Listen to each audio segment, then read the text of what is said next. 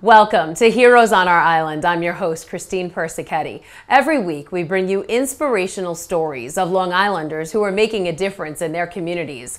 On today's show, the Music Academy for Special Learners. Hitting the right note for kids with special needs, plus Adelphi University's breast cancer hotline providing support to breast cancer patients and survivors, and Quinn Madeline creating memories for families of terminally ill children. That's all coming up on Heroes on Our Island.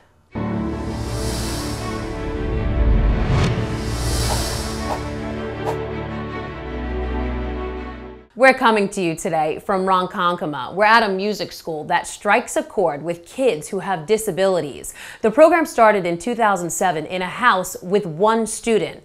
Now there are three classrooms and about 90 students eager to learn.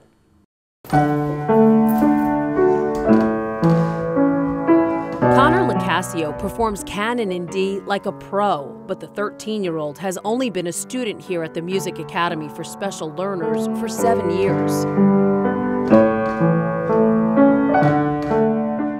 You'll notice the teenager who's been diagnosed with Asperger's syndrome knows this classical piece by heart.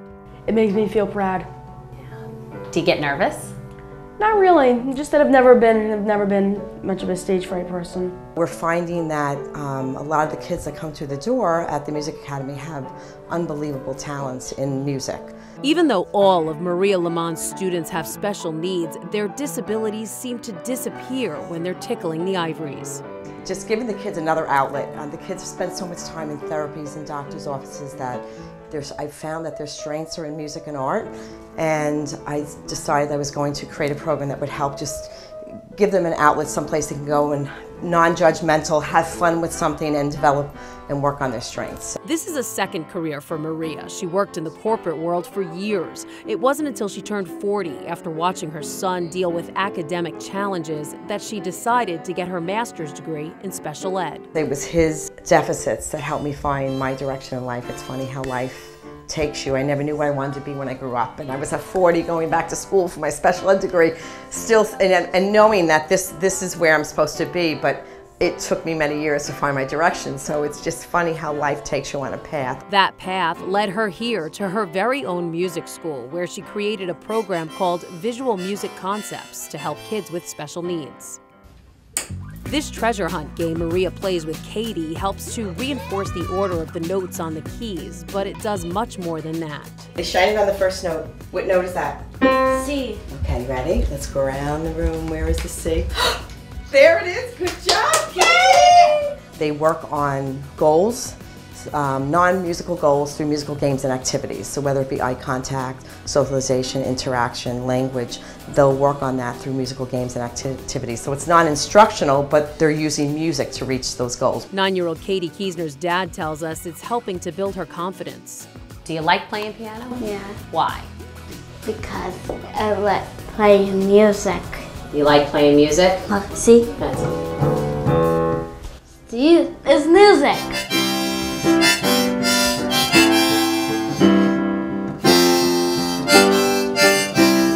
12 year old Joey Kavanaugh doesn't lack confidence.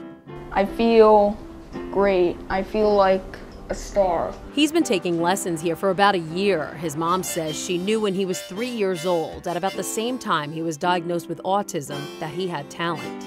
I'm pitch perfect. What does that mean? It means that if you play a note, I can identify it right away. How do you do that? I don't know. It, it's just a gift. For Joey, it's an outlet um, that he succeeds in. And I feel that that's very important for him because he does um, struggle in other areas of his life, especially socially. And when he's able to um, celebrate himself, you know, and realize that he really can be outstanding at something, um, it gives him some confidence, and that's excellent. Michelle gets choked up when talking about Joey's experience here. The Music Academy has been a blessing to us because everybody wants to root him on. So, so when he has something that he's wonderful at, it's great. Connor's mom also gets emotional when we ask about Maria. She's amazing. She has the way she works with him is just incredible. Like he, it's difficult for him to take instruction a lot of times from other people, but she has such an incredible gift for working with someone like Connor. She's able to get him to do, and, and he's proud to work for her and to do very good for her. Okay, now Connor, gonna start, yep. C and C sharp. Joanna says while Connor is smart and intellectual, he's socially and emotionally delayed, but he has no problem expressing emotion when playing music. Piece and he plays it from totally from memory. Um, the entire piece, beginning to end. Beethoven, Bach, old classical pieces he can learn. And, and it's incredible to hear it flow from high notes and speed to very soft and emotional parts of it. And he does it soup to nuts from beginning to end. It's really amazing. And you can see the pride in Maria's face as she watches Connor. How does it feel for you to see these kids maybe come out of their shell, become more confident? It's, this is where it is. Yeah, it's emotional.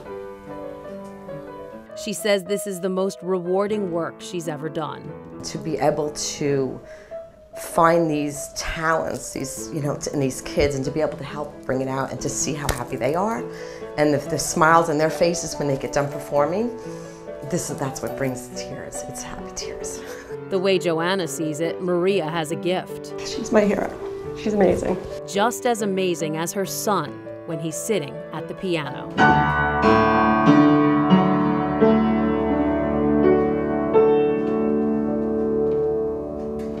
Maria plans to open more locations of the Music Academy for Special Learners throughout Long Island.